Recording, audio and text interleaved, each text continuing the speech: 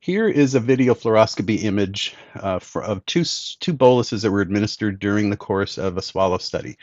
Uh, this particular patient is wearing some sensors here from uh, the based on the research that we're doing, and I won't be talking about that.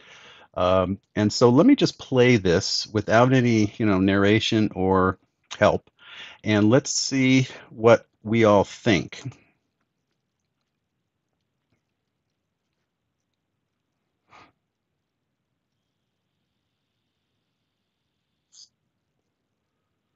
So this is the end of the first bolus administration. And here's the second.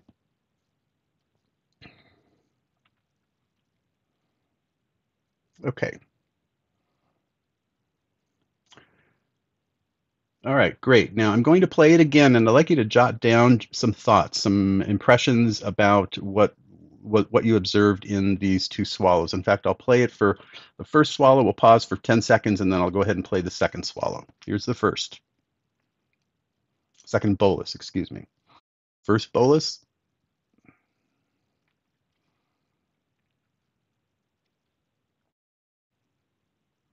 And now second bolus. Pause that for a second. Go ahead and take notes on first bolus.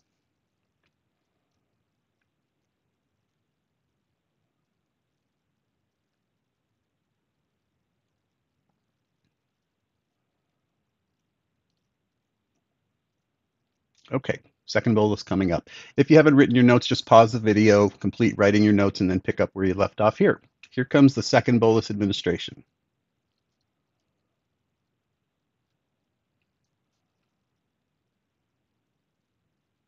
There we go. So go ahead and pause the video, jot down your notes on the second swallow bolus bolus administration. I'm trying really hard not to use the word swallow because each event is a bolus administration. We'll discuss that at the end. All right, moving on. What I saw was the image, the video image loop began with barium in the larynx within the ventricle, and the patient had aspirated contrast, apparently already had aspirated contrast on the anterior wall of the trachea, and the patient's head was flexed forward. During the first bolus, what I observed was contrast was in the laryngeal ventricle at the onset of the event. Let's go back and take a look. Okay, here's the very first frame of this video. And I see contrast sitting within the laryngeal ventricle right here. Contrast coursing below the plane of the of the larynx, the cricoid cartilage, which we're going to discuss later as a, an important landmark indicating the bottom of the larynx and top of the tracheal air column. And there's a fairly good uh, easy to see line of contrast uh, outlining the uh, contour of the epiglottis, the laryngeal surface of the epiglottis. Here the video is continuing. So again, material pooling in the ventricle here, a little bit on the on the epiglottis, but it's. It's irrelevant because we already have a score of residue here, which you know we'll talk about scores later. And now we see a couple things going on. Material from the bolus entering the larynx and material that was already in the larynx coursing more deeply into the trachea. All right, and then we see the person cough and clear his clear his airway, which we don't really know if this is a prompted cough or a, um, a spontaneous cough, and this is very important. All right, so let's go back to the list that we had. So contrast in the ventricle at the onset, shallow penetration from the bolus, but also laryngeal residue that was aspirated during the pharyngeal stage. The patient did cough or exhale. It's difficult to tell without an audio tract, and material, course, back up into the larynx from the trachea. Uh, the larynx, I'm using L to indicate larynx and T for trachea. The larynx uh, had post swallow visible residue, trachea did not. So I scored this a penetration aspiration score of three. And then in my narrative, will describe the fact that material was aspirated from previous penetration events. The second bolus, I had a hard time finding anything different. I found this to be very consistent between these two. And in fact, the description that you see here is identical to the one above. So I saw the same events occurring in both swallows, both bolus administrations. And so if I was just using that information to summarize what went on, uh, at the bottom is some shorthand that, that I kind of put together. Assuming that this pattern continues as a consistent pattern, I would have to interpret this as shallow, thin liquid laryngeal penetration with post swallow laryngeal residue, some of which is aspirated in subsequent swallows. We would also want to mention that it's a very small amount of material and that the the lowest uh, uh, coursing of the material into the trachea was, and then an estimate of centimeters or tracheal rings below the uh, inlet to the trachea, which is at the bottom of the cricoid. We're going to look at all the anatomy in a couple of minutes. So, which was aspirated in the subsequent swallow. So, what do I know? I know that the patient has the capability of clearing the airway, but I don't know whether or not they're doing it spontaneously. So there is a, an, an effective airway clearance maneuver. Uh, if the patient is already uh, um, spontaneously clearing the airway, then the amount of training and treatment that needs to be done will be less. Vigilance would be more the the uh, the, the, training method. Uh, but if the patient did not, if the cough was cued, then we need to do training in pre-swallow inhalation and airway protection maneuvers before going on to any other uh, treatment tactics. So you notice in the summary here, there are no numbers, no PA scale numbers. It's a summary, a narrative summary of the results of those two events. So this is an, an example of how to reduce that information into a narrative. PA score of four. So here we're going to have deep laryngeal penetration. So you can see the arc of, of material between the epiglottis and uh, looks like it's kind of spilling in a couple of different areas here and the cartoon shows it a little more clearly.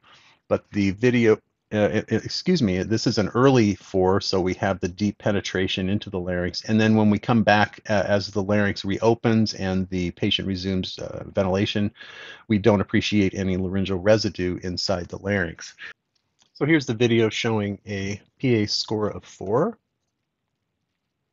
And you'll notice a longer thread of material coursing into the larynx approximating but not really contacting the ventricle. Okay, definitely having not been aspirated. And as the airway reopens and, and, ventilation resumes, we don't appreciate any ventricular, which is surprising because of that depth, and or uh, um, epiglottic adherence.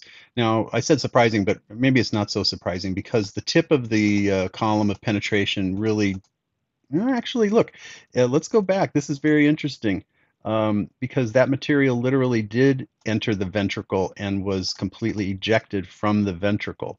I'm going to keep trying to find that frame that just shows it perfectly. One more frame, maybe. Yep, right there. Notice this thread came down, a little bit got in the ventricle, the cord's adducted vocal the, the two folds adducted, obviously, because this would have fallen straight through.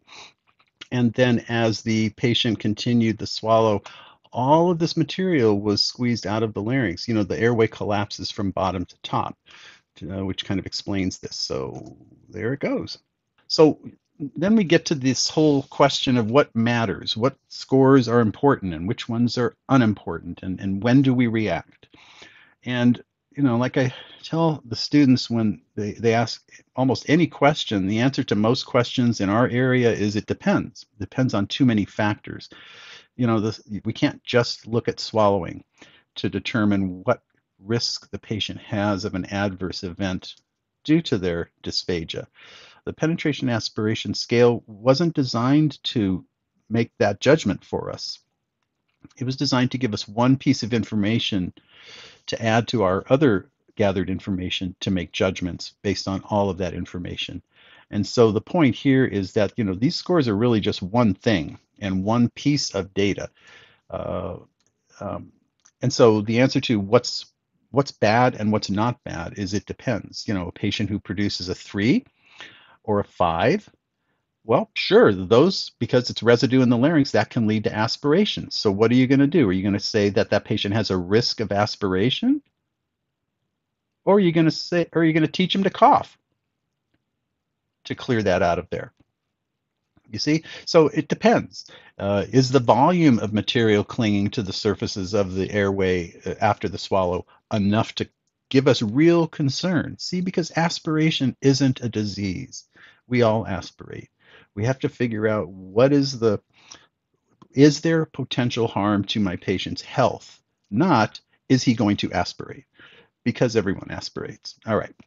Uh, so our job is not to just identify aspiration and change diets. You all, we all know that. Our job is to mitigate the health risks. And you know what? Sometimes in some people, aspiration alone is not enough to cause pneumonia.